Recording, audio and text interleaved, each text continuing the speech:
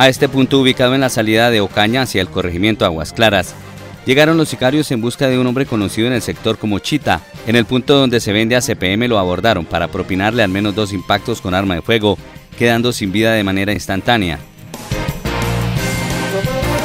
Hacia las 4 de la tarde, técnicos de investigación criminal estaban realizando el levantamiento de esta persona que fue baleada en un puesto donde se acopia ACPM. Las autoridades iniciaron con la investigación de este hecho.